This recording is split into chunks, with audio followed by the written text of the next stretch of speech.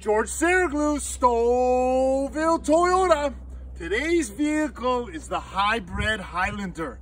The new Highlander comes in a hybrid and a non-hybrid.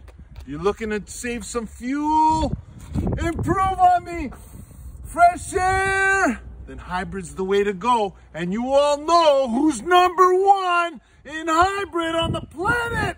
We got a hybrid in a Corolla, we got a Prius, we got a Camry, we got a RAV4, we got a Sienna, we got a Venza, we got the Highlander, we got it all because he knows the best of the best. We are. Who's the number one guy? Me, George Sarah, Stouffville Toyota.